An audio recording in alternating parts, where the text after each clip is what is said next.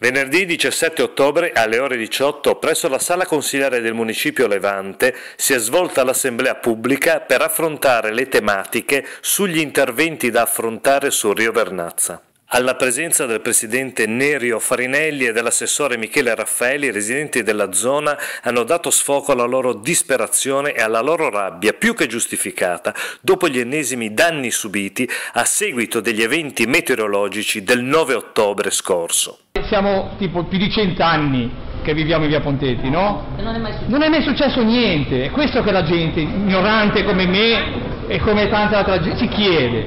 Anche nell'alluvione del 70 ma non è, saltato, non è successo niente. 2011 nessuno ha preso un euro, tutti i soldi partite, soldi che hanno mandato, dove sono finiti questi soldi? Io sto pagando Equitalia in 30 anni, mai fatto Equitalia, sto pagando le tasse 2011.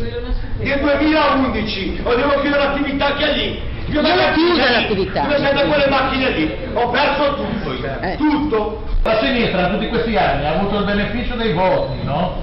E si sono seduti lì Ora è, è, il momento di dare delle risposte, se vogliono di nuovo il voto. È una partita che mi auguro si mantenga quello che si è detto. Ho letto quello che avete letto voi, fino a 30.000 euro, risarcimenti subito, procedure immediate, procedure immediate e Natale.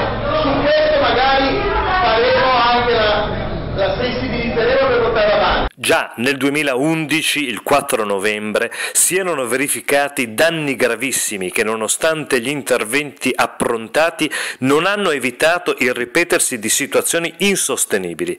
L'assessore Raffaelli ha promesso di far sentire la propria voce al governo richiedendo immediatamente i fondi necessari per un intervento definitivo e la messa in sicurezza di tutte le zone coinvolte. Tali lavori sono attesi da decenni e la popolazione non può più vivere nel rischio che ad ogni bomba d'acqua la loro vita, le loro attività, la loro speranza possano essere ancora una volta spazzate via. E adesso vedete, sono tutti innocenti, guardate che la politica è straordinaria, perché alla fine non c'è stato uno che abbia chiesto scusa. Se a Vernazzola c'è una situazione così, ci devono essere delle squadre di intervento immediate in caso di alluvione.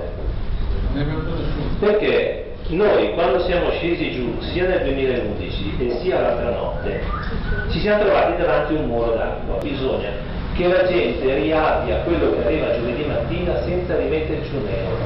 Qui bisogna che qualcuno paghi, perché la gente è arrabbiata e io personalmente mi faccio portavoce di questo per dire non se ne può più.